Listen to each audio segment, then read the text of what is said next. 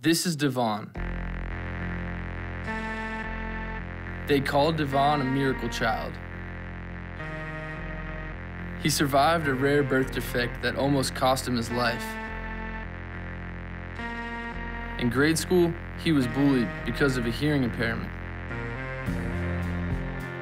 He used sports to express himself. In high school, Devon only weighed 140 pounds, but that didn't stop him. The kid's got heart. And this is Marshall. Marshall was always playing sports growing up and loved to ride a board or two. In high school, Marshall became a football star. He was big and he was strong. Dude had an NFL leg early. Devon balled out at Central High School in Baton Rouge, but no one offered him a scholarship. Instead, he walked on at Southern University, where his dad played. Marshall was all state in Florida and had colleges lining up. So he chose Georgia, where Mark Richt and the Dogs had an opening. Kick after kick, he was automatic. And this is for a Georgia win. How about that? By senior year, Marshall was one of the best kickers in the country. And unlike other kickers, Marshall didn't shy away from contact. Devon didn't start in college, but took every chance to prove himself. Especially in the big games, like going up against Georgia in 2015. That's when I met Devon. And that's how I met Marshall.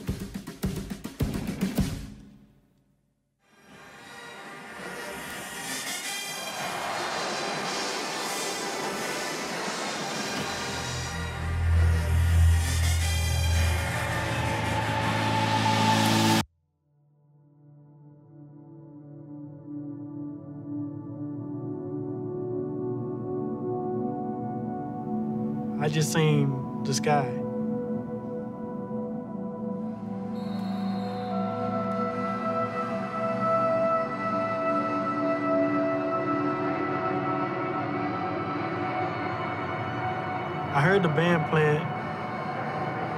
I was thinking, I have to get up. My team need me. I have to get up.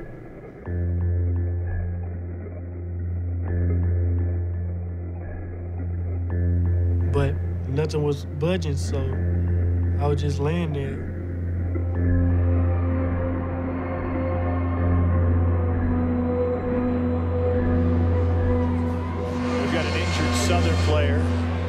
On the field, and the Georgia athletic training staff first ones there, the near sideline to look after him. Actually saw the blow happen. Was the first one there. Asked him what was going on, and he said he couldn't feel anything or couldn't move. I couldn't I couldn't move anything but my hands. That's a scary feeling. Collision on the return. Right side of your screen, number 33 meets up with number 13. Collided at the end of the play with the guy who's been the best tackler on Georgia's kickoff coverage, the kicker, Marshall Morgan. Once I started jogging to the sideline, I look back and he's not getting up, and I, that's when I start kind of freaking out. Things are going through my mind, like it could have been this, this, what. I hope he moves, like, because at first he wasn't moving at all. Devon Gales, sophomore from Baton Rouge out of Central High School. Mark Richt has made his way over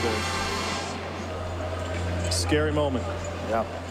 Broadcaster came on and said that we have Devon Gale, Southern University wide receiver number 33, down on the field. Of course, my heart dropped. To see my son laying there on that field, helpless, not being able to get up, it was it was heartbreaking. I felt the pain, hurt, because I wasn't there. And they're going to cart the young man off the field. Our prayers go out uh, that everything's okay with Devon Gales. I was around 5'8", 158. So I was pretty small, but I was still big in the heart. It was a freak accident. Um, I, I actually hit him. I see Devon, he's running towards me. And so in my mind, I'm thinking, this guy's coming to lay me out. So I just tried to get a good base and just kind of almost absorb it. I wasn't looking to lay anyone out. The way we collided, um, it was it was tragic. I mean, right at the point of impact, Devon actually lowered his head down and absorbed the blow. And, and the problem with that is when you lower your head, your spine becomes straight and absorbs the force like a column. So uh, we knew he had significant spine injury at that point. I was just telling myself I'm gonna be okay, I'm gonna be okay. But my parents, I knew they were worried about me.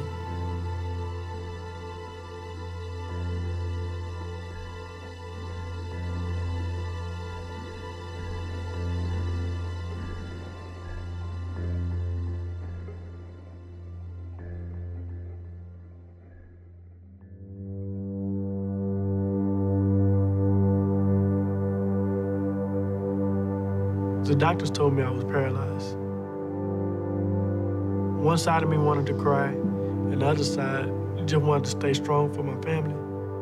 He was able to move his hands, he wasn't able to move his fingers, but at the same time, nothing, he couldn't feel anything from his chest all the way down to his toes.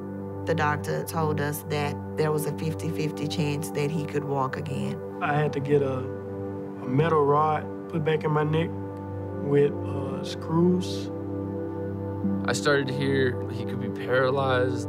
I was like, this is way too serious. Like, this can't be happening. And I'm thinking, you know, his parents are gonna hate me. That everyone's gonna think I'm I'm the guy that just just paralyzed Devon kind of thing. Right then I was like, I need to go see this kid and I need to go see his parents and I felt like I had to like apologize. The next day, he was undergoing some surgeries at the time. I go to the hospital and I kind of walk up and I see his mom. We wrapped our arms around each other and just start crying. I'm trying to hold this big guy up and I'm like, okay, baby, you know, it's okay. You know, I just had to comfort him and let him know that we don't blame you for any of this and I don't want you to blame yourself. Some families, it could have been the totally opposite. And they're just the most loving and forgiving and, I mean, most welcoming family ever this is just something that happens in football. But that's a heavy burden to carry. And as much as I could have spoken to him in his ear, I knew that he still had that blame on himself. You know, everybody had concern. If you're in the middle of a play like that, you can't help but be affected by it in some way. It could have gone either way. I wish it didn't happen to either of us.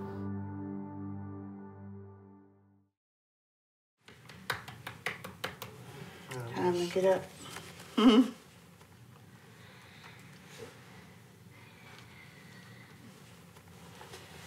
Therapy. Yes, you have some more shorts. I'm going to put them on. Because of Devon's injury, the Gales family life actually changed just like that. I'm going to sit you up. All right, one to Nope. Now you get my leg around my neck. And I'll kiss the rest. I got you, ain't You ready? You want to smell my breath? Nope. Mm-hmm.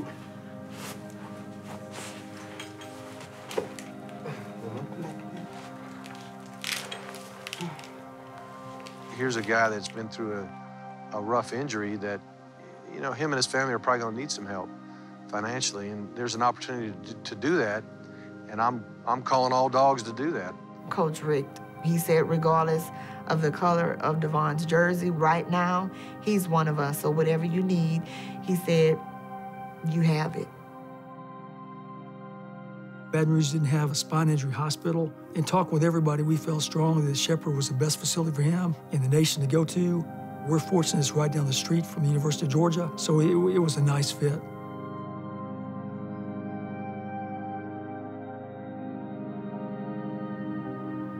I have my low moments.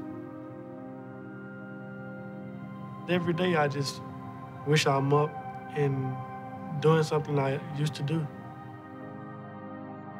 You say, Dad, I'm gonna walk again. And I gotta believe it. I can't have doubt in my child. And, and my, me and my wife believe that he will. I miss football a lot. I had one day, and I was like, man, I wish I, I wouldn't have hit Marshall. But you can't redo what's been done.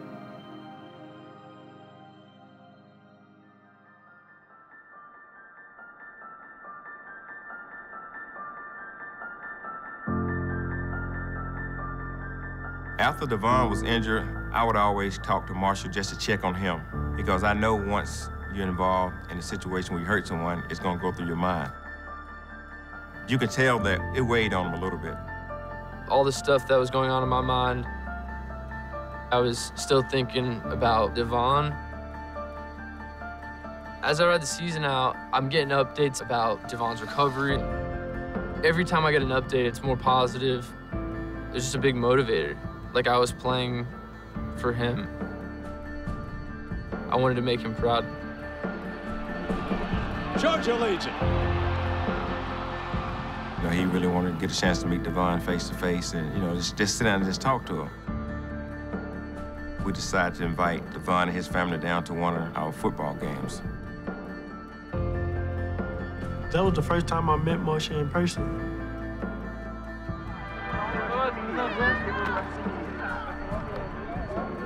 Gave him a big hug and was like, it's not your fault. That's when the guilt, the blame kind of just switched. From there, I was always just trying to reach out to him, and he would do the same. He would wish me good luck before games. It was just nice to be able to talk to him. That's really what started this relationship. And we just hit it off from there. He wanted to be there with me through this journey. Because it's not just mine, it's his too.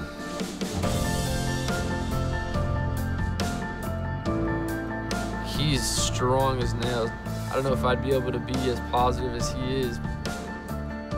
Him going through one of the toughest things that a human can go through. Got it. Got it.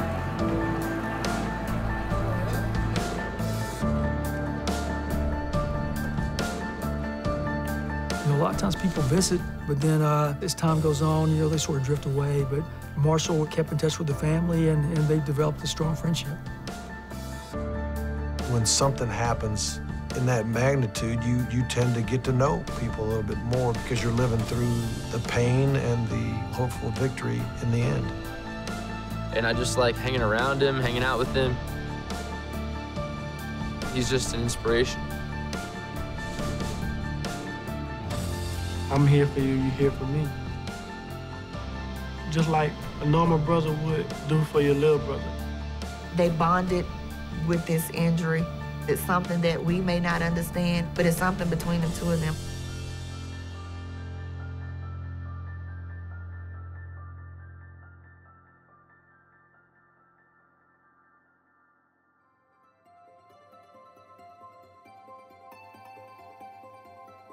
Other than my wife's family, you know, my first invite to Madison and I's wedding was Devon.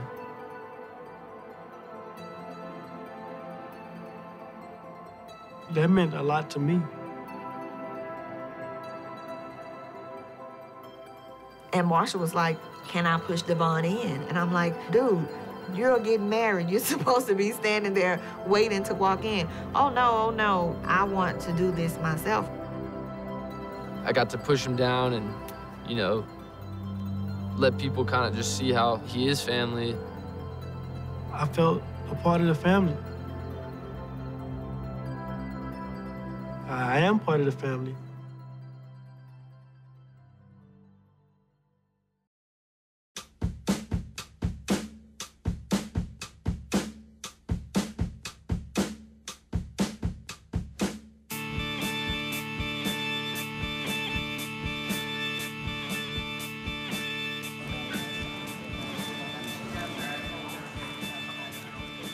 I posted a video of Devon's first time being in a set of robotic legs.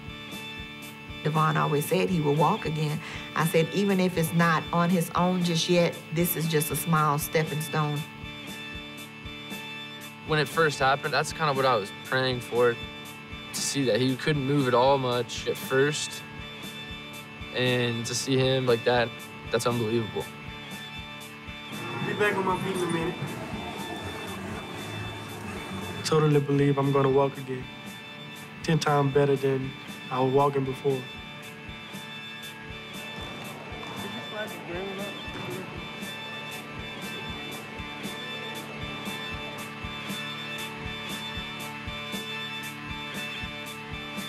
Devon kind of made me realize that, you know, there's more to life than, than football. Really, it's about relationships. He is the most positive, inspirational person I've ever met.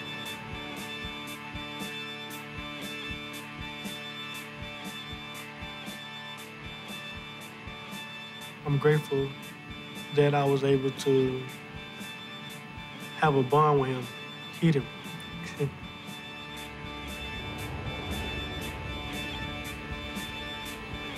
Fate brought us together. He brought another light into my future. It made us brothers.